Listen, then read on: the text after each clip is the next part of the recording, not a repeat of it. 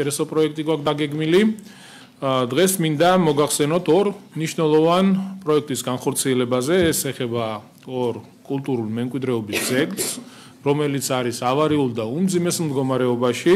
პირველი ეს არის მოსავლი ახალგაზრდობის სასახლე და კადეტთა корпуსი, რომელიც არის საცხოვრებელი ძალიან ბევრი ადამიანი ცხოვრობს და არის უმძიმეს მდგომარეობაში.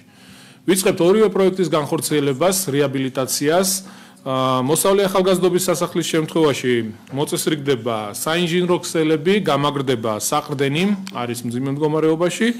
კედელი, საძირკველი, ოთახების არესტავრაციო, სარემონტო სამუშაოებთან ერთად გათვალისწინებულია მხატვრულ დეკორატიული დარბაზების საკონსერვაციო, სარესტავრაციო სამუშაოები. ასევე განახლდება